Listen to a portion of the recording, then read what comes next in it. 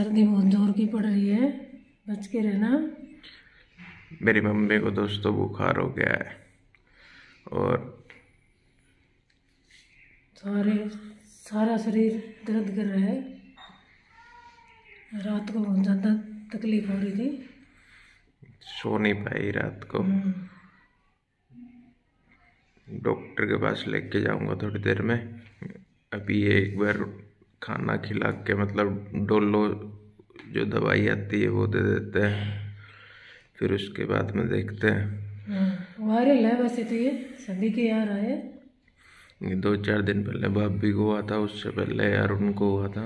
हम्म, तो शायद वायरल है एक दिन दो दिन सभी के हो रहा है। डोलो से हो जाएगा। डॉक्टर के चल रहा है डॉक्टर का इंजेक्शन लगवाना था मैं मैंने इंजेक्शन बहुत ज़्यादा डर लगे तन्ना तो लग गए कोने और बाहर धूप निकली नहीं है अभी। सर्दी बहुत ज़्यादा हो रही है। आज मैंने नाना कैंसिल कर दिया मैं कभी नहीं करती नाना कैंसिल आज मैंने कर दिया नाना कैंसिल नींद ना आ रही। लाइट बंद करूँ।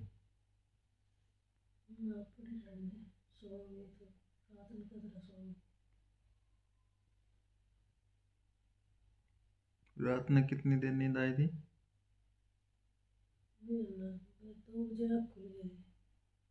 दो बजे फिर ना आई नींद। कदे थोड़ी बहुत आई भी से कदे बंद हुई से फिर कदे ना। हो ग्यारह बजे सोई थी। ग्यारह बजे तक जग गई थी। थोड़ी देर आँख बंद करके आराम करो। ये लाइट में बंद कर दो।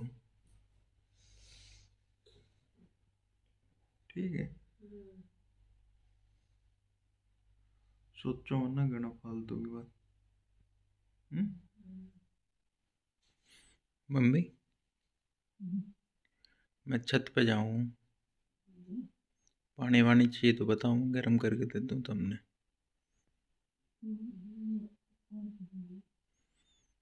थोड़ी देर में चाय बनाऊँ जब कर दूँ है? बना लो मम्मी चाय? पानी भी गर्म कर लो ना। ठीक। मुझे पता क्या लगता है जब भी कोई बीमार होता है ना घर पे तो ऐसा लगता है कि जैसे वो घर पे नहीं है वो पर्सन जो बीमार हुआ है और वो बाहर चला गया है तो मेरे को आज ऐसा ही लग रहा था और ये साल का सबसे ख़राब दिन था क्योंकि मेरा मन बिल्कुल भी नहीं लगा क्योंकि मेरी मम्मी है, वो मेरे से बातचीत करती रहती है बार बार मेरे को बताती रहती है कि ये काम कर लेते हैं अपन, ये बिज़नेस कर लेते हैं। क्योंकि मेरी मम्मी जो है, वो चाहती है कि मैं थोड़ा सा और ज़्यादा कामयाब हो जाऊँ। तो इस वजह से मेरी मम्मी जो है, मेरे से बातचीत करती रहती है कि ये काम कर ले, ये काम कर ले। तो आज मेरे को मतलब वो कमी महसूस हो रही थी क्योंकि मेरी मम्मी मेरे से इतना बोल नहीं रही थी। और बोल भी रही थी तो ये मतलब बुखार बुखार से मन करके बोल रही थी। तो इस वजह से मेरा भी बोलने का मन नहीं था क्योंकि मैं चाहता था कि मम्मी थोड़ा बहुत आराम करे ताकि ये जल्दी से ठीक हो जाए। मगर मेरी मम्मी जो है वो ठंड में मतलब काम करती रहती है पानी जो है इस ठंडे पानी से बर्तन वगैरह साफ़ करना तो इस वजह से बीमार हो गई है। मम्मी पानी में नमक गिर के लाऊं कहीं? वाइट वाइट आड़ो ठीक है। और हम में से कोई भी बर्तन साफ़ करने के लिए बोले तो मम्मी है ना मना कर देती है क्योंकि मम्मी को है ना दूसरों का काम इतना पसंद नहीं आता तो इस वजह से किसी को करने भी नहीं देती और खुद कर लेती है ज़्यादा तो बीमार हो जाती है। तो इस वजह से मैं काफ़ी काम तो है जो वो खुद ही कर लेता हूँ मम्मी को बोलता भी नहीं क्योंकि मम्मी जो है बीमार हो जाती है जल्दी।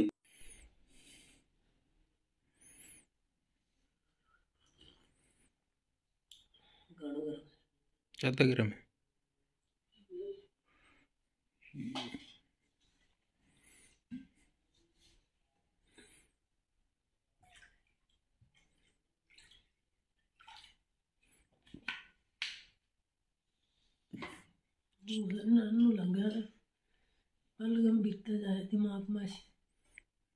कुछ ना जावे लग गई है बस।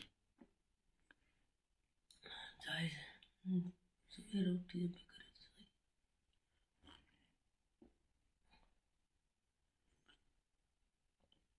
धूप निकली है ना? धूप निकली ज़्यादा ना निकली। तो ना भी अच्छा लेके आऊँ मैं तुम पिल्लू पानी पहला। गर्म से धीरे धीरे पीऊँगी मेरे वहीं कम लिया तो चाहे मेरे में वो पानी। कोई बात ना। मानने लगा लूँगा। विंग दुल्ला जैसा कि अभी आपने सुना कि मेरी मम्मी ने मेरे को बोला कि तू अपनी चाय क्यों नहीं लेके आया? और मेरा जो पहले का बर्तन रखा हुआ है, उसी में पानी डाल देता, दूसरा बर्तन क्यों किया है? मेरी मम्मी को है ना, एक प्रकार की कोई चिंता सी लगी रहती है कि ये बर्तन मतलब कम साफ़ हों और मतलब मेरी चिंता मतलब कि तूने चाय क्यों नहीं पी? तो ये चिंता है, ये मतलब फालतू की चिंता है जो कि नहीं करनी चाहिए, मगर करती रहती है सबके लिए। अभी मैं जाता हूँ डॉक्टर के पास में, मम्मी की सारी जानकारी दूँगा और वो दवाई दे देगा। ऐसे फैमिली डॉक्टर है और इधर किधर दाल रखी होगी, वो भिगो देता हूँ। दाल चावल बना लेंगे रात को। क्यों? हम्म? इसमें दाल से, ना, इसमें दलिया है।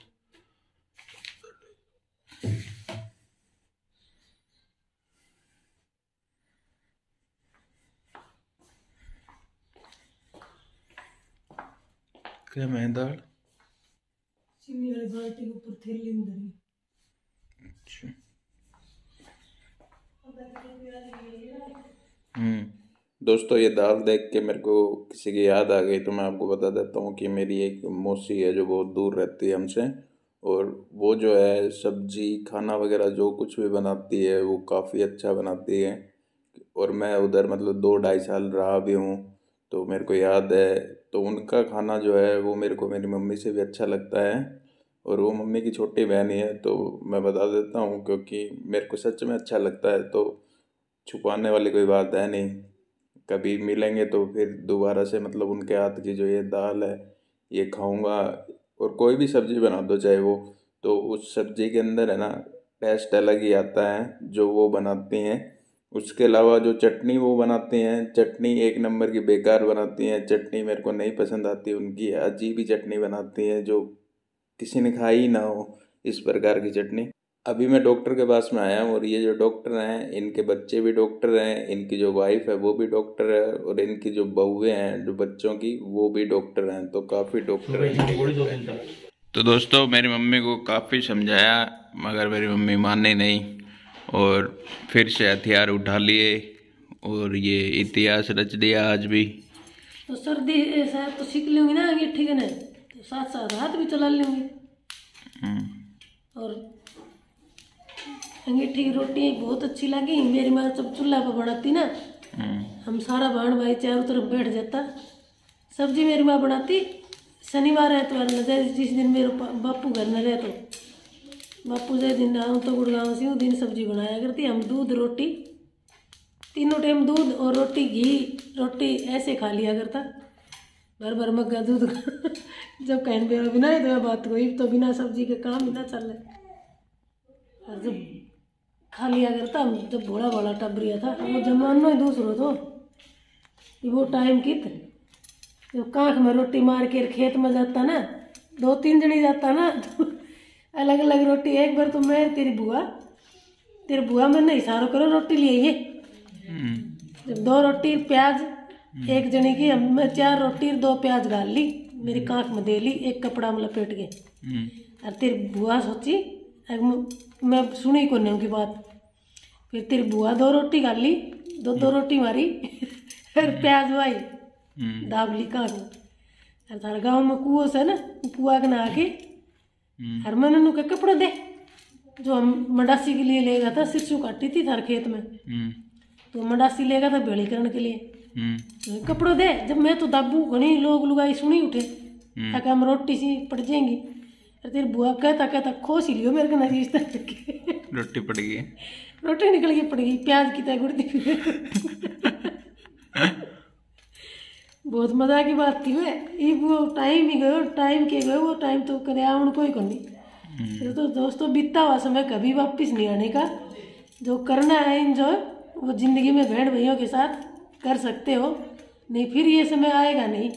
ना माँ बाप मिलेंगे ना बहन भाई मिलेंगे। मिलेंगे तो भी वो दूसरे रूप में।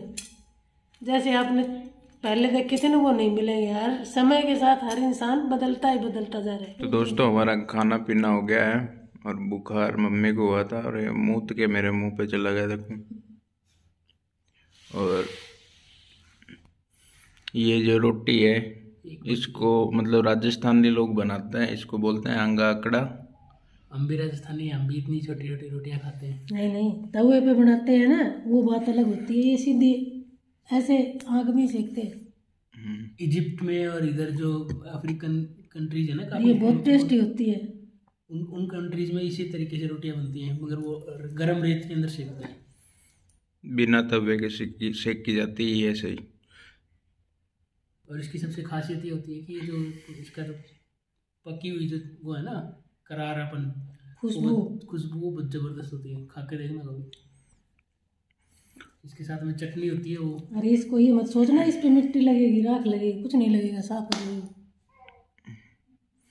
तो दोस्तों आपको हमारा वो लोग कैसा लगा मेरे को कमेंट करके ज़रूर बताना और अच्छा लगा हो तो के मम्मी? लाइक करना और सब्सक्राइब सब्सक्राइब करना। और कमेंट भी कर देना। और कमेंट भी करना। अगर आपको ये रोटियाँ खानी हो तो मेरे पास आ जाना। हम्म। बहुत प्यार से बनाऊँगी ऐसे सेक सेक पहला एक बार बोलो सब्सक्राइब सब्सक्राइब करना। पहला क्या बोला था। ऐसे बोल रही थी सखाई के वेर के बोला था। कभी कभी हो जाता है। ना आधी बात तो मैंने कदे कदे मेरा सी चुक निकल जाए तो ठीक है दोस्तों गुड नाइट टेक केयर मिलते हैं कल एक नए ब्लॉग के साथ बाय बाय